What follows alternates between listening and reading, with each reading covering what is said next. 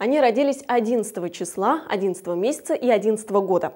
Сегодня в нашем городе на свет появилось более 20 детей. Мы побывали в родильном доме в поселке ГЭС. Как отреагировали на дату рождения своих малышей молодые мамы, узнаете из нашего следующего сюжета.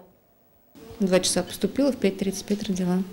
Восемь мамочек уже родили, еще восемь на подходе. Наталье Шариповой эту дату родов поставили на УЗИ. Девочка Камила оказалась очень пунктуальной, подтвердив прогнозы врачей и оправдав ожидания мамы. Мне нравится это число, мне кажется, что оно все-таки, наверное, необычно. Все равно что-то, наверное, в жизни произойдет хорошего.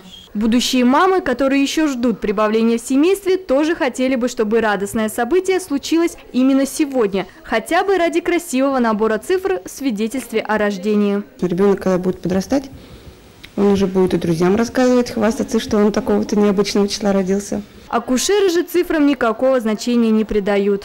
Мы к этому обычно относимся. Для нас самое главное, чтобы было все хорошо, чтобы дети рождались здоровыми, женщин, с женщинами все было в порядке. Поэтому для нас это обычный рабочий день. По словам врачей родильных домов, получить необычные цифры в свидетельство о рождении есть шанс еще у нескольких малышей. До полуночи осталось чуть больше четырех часов. Лилия Ткач, Андрей Буслаков, РНТВ «Набережные Челны».